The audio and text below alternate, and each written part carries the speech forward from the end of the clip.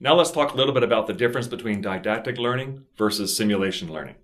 So didactic training would be lecture, books, any reading, whether it's online, offline, uh, multiple choice style assessments, that type of thing.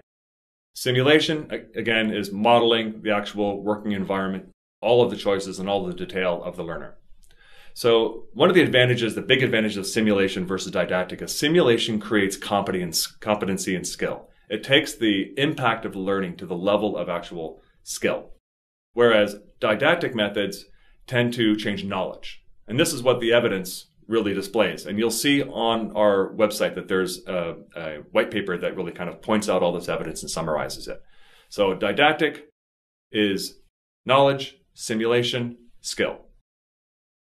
And what that means is that simulation is most suitable for complex diseases and patient presentations.